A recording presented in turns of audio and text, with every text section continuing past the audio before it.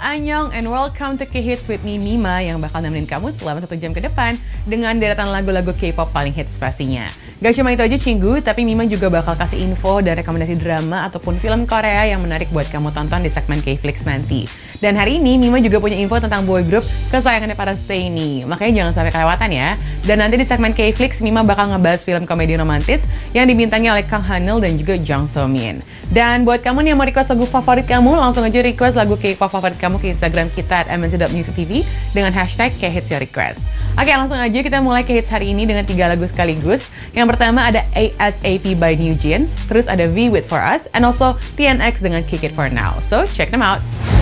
Hey guys, back on K-Hits nih with me Mima dan baru aja kamu simak MV-nya Ki dengan Good and Great. Nah lagu yang rilis pada 11 September 2023 ini menjadi comeback terbaru dari Ki. Dan gak hanya merilis lagu aja, tapi Ki juga merilis mini album bertajuk sama yaitu Good and Great.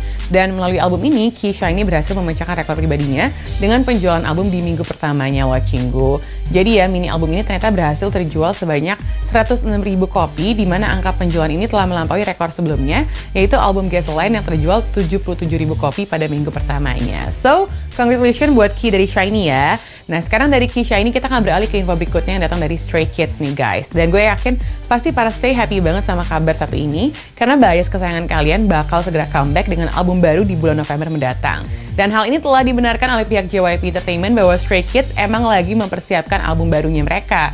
Tapi sayangnya nih tanggal rilis albumnya masih dirahasiakan oleh manajemennya.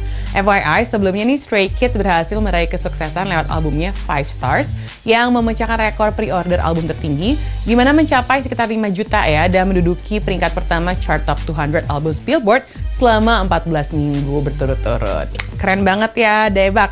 Oke deh kalau gitu sukses ya buat persiapan album baru dari Stray Kids dan kita berharap albumnya bisa sesukses album sebelumnya itu Five Stars. Nah sekarang nih sambil nunggu album barunya Stray Kids gimana kalau kita langsung aja simak video klip berikutnya ini dia Nmix dengan Roller Coaster.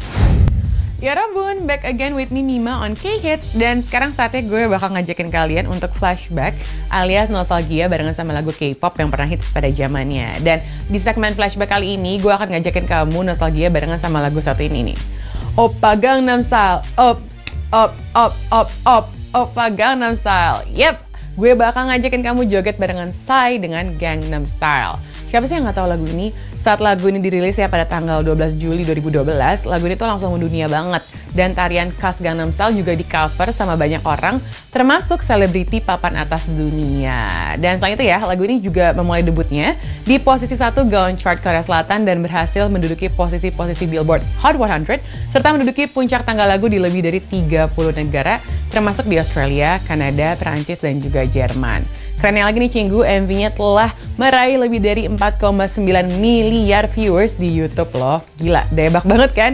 Makanya tanpa banyak basa-basi, langsung aja kita joget barengan sama Psy dengan Gangnam Style.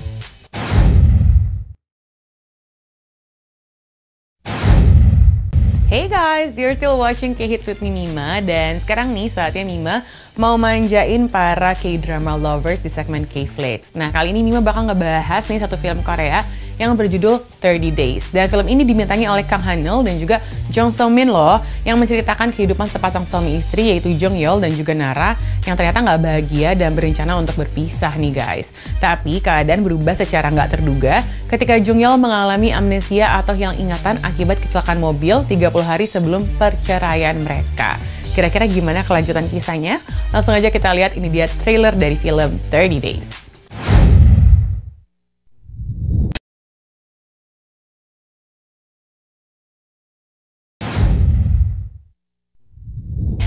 Wow, dari trailernya aja udah kocak ya dan bakal menghibur banget nih kayaknya filmnya.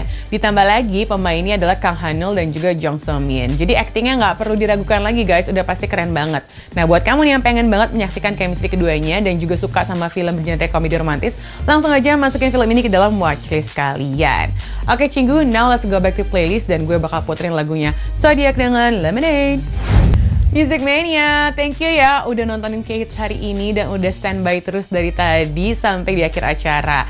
Sekarang gue bakal pamit undur diri nih, tapi seperti biasa sebelum gue pamit, gue bakal baca ini requestan udah masuk ke Instagram kita at mnc.musictv dengan hashtag khits your request. Nah, requestan ini akan sekaligus menutup perjumpaan kita hari ini ya. Langsung aja gue bacain dari requestan yang pertama. Requestan pertama yang masuk hari ini ada dari at Kyla underscore Z yang minta diputerin MV-nya BTS dengan Stay Gold. Terus yang kedua ada at Anindia9827 yang request lagunya aespa dengan Black Mamba. Dan last request datang dari at Lee Hyunwa yang request MV-nya Stray Kids dengan Thunderous. Nah, tiga lagu ini akan sekaligus menjadi penutup kita hari ini. I hope you enjoy them. Dan semoga aja besok kita bisa bertemu lagi tentunya hanya di K-Hits. Must signing out and annyeong!